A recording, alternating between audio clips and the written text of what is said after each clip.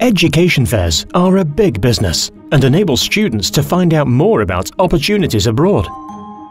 But in today's increasingly globalized world, how do you spread your resources over so many different countries? Similarly, is this method still successful, as students are now twice as likely to research opportunities online rather than attend a fair? Through ET Discovery, your institution can hold virtual fairs, connecting your representatives firsthand with students from across the world. Using all the tools available,